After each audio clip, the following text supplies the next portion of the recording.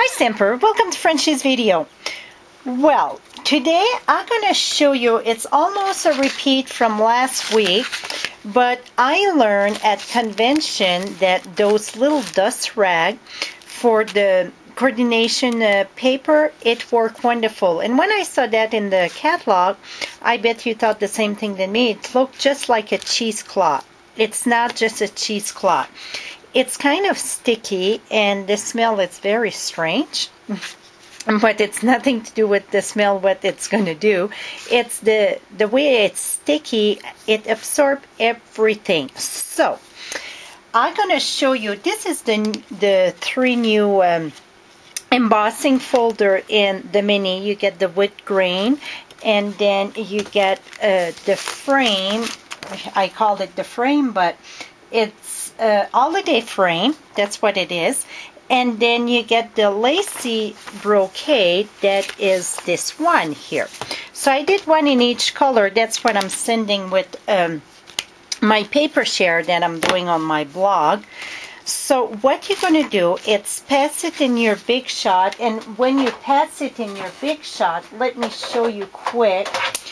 Um, you're going to open uh, all the tabs. So tab 1 tab 2 it's open. You put your clear plate.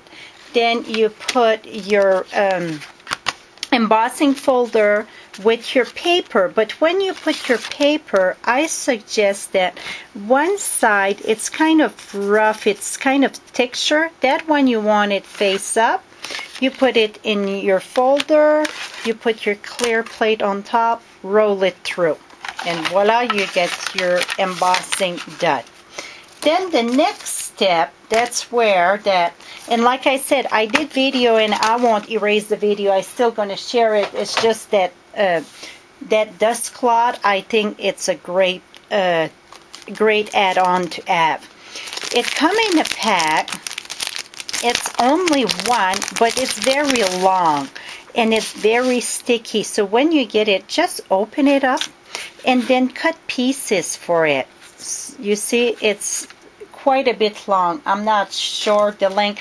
I cut three pieces and I still have plenty. So let me move this aside here. Okay, what I'm going to do first is take my um, sand block and the sand block you can remove the the sandpaper so you can switch them.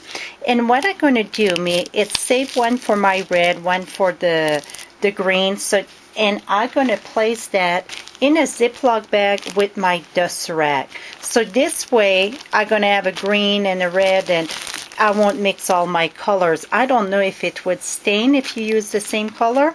I didn't try it so so what you're going to do, it's sand. This is the wood grain with the, the early espresso and just sand it. See all, whoops, the dust that it, it made. Okay, now I used to take a, a, rag and just wipe it. Well, if you take your, the, I call it a cheesecloth. It's not a cheesecloth. It's that dust rag. It's just, dust rag, just wipe it and look, it take everything loose that you had on your paper. Then you see my mess here. I think it focused there. You just go here and look, it take everything off. So then you don't have that dust all flying everywhere and it cleaned perfectly. And with the green, I won't switch nothing. We're going to see if it's staying or not. I don't think so, but we're going to try it. Here we go. See, it's very quick to do. Just wipe this, then take your rag, the dust cloth, and look, it grab everything. And then you can, this one was in two little pieces. You can just shake it off in the trash. See how awesome this little piece is? So that's why I wanted to do a video and explain a little bit more on the dust rag uh, dust cloth, I think it's called. Dust Buddy. It's called the Dust Buddy. Because this way, it's going to help a lot of picking all the little things. While I get you here, this video, it was so quick. I'm going to show you some quick sample that I did with that paper. See how pretty it is? It feels like it's almost like that wall, that vlog wallpaper. Very, very smooth. And here's the wood grain. And then I get one here in the red, all done. See how pretty it is? Well, my friend, this is it.